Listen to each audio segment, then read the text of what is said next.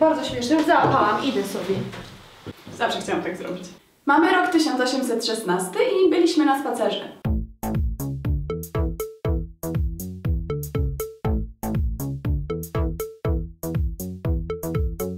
Celowo użyłam słowa byliśmy, bo wyjątkowo na spacer udałam się nie tylko ja i Rose, ale praktycznie wszyscy nasi znajomi. Przeszliśmy spory kawałek od lasów Topping i potem spięliśmy się na wzgórze. Właściwie nie wiem po co wam to opisuję, skoro i tak nie wiecie gdzie to jest.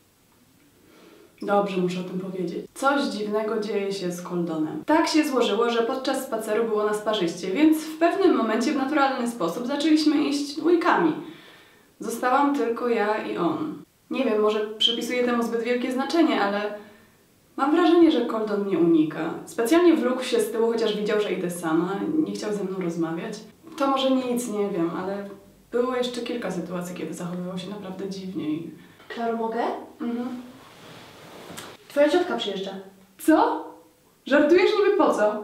Odrobiła już coroczne rodzinne spotkanie. Nie wiem, ale powód musi być raczej poważny. O, nie cierpię tej kobiety. To znaczy, nie cierpię tego, w jaki sposób traktuje wszystkich dookoła i jakie ma wysokie mniemanie o sobie. Ma trudny charakter, ale to typowe dla kobiety o jej pozycji. Wiesz, może taki sposób na utrzymanie niezależności. Na pewno nie miała łatwego życia.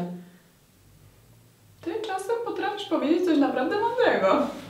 A jak się miewa Mary? Już chyba lepiej. Chociaż wiesz, ostatnio nie była jakaś zbyt rozmowna. Czyli po staremu. O nie.